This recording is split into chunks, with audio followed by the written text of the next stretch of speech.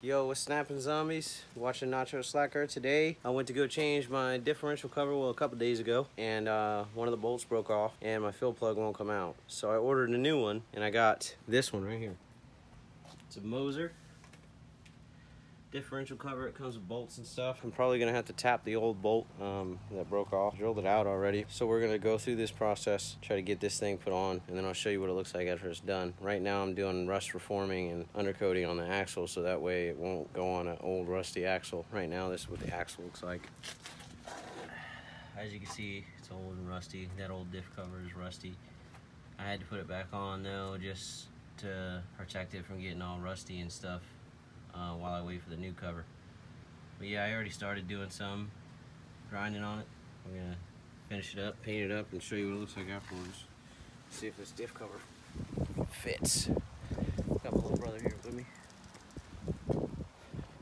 You, I don't know if you remember from my other videos, but it's my little brother Michael. He's got his own YouTube channel. Shout out. What's your YouTube channel? Oh yeah, I have a YouTube channel. You don't even have a YouTube channel. All right, so I got everything put back together. I got the new diff cover on, uh, put new fluid in there, drove it around a little bit. It seems good. I'm gonna go take you guys outside, see what it looks like, and then you can decide if you wanna do it to your truck or not. There it is.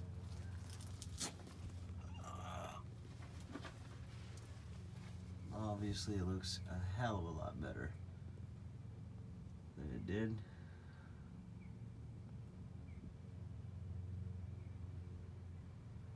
I love the look. I love how it's performing so far. Looks like uh, a little rust already coming on those bolts, but uh, I mean, of course, that's going to happen. It's your rear end. It's the first thing that hits any kind of moisture. So yeah, there you go.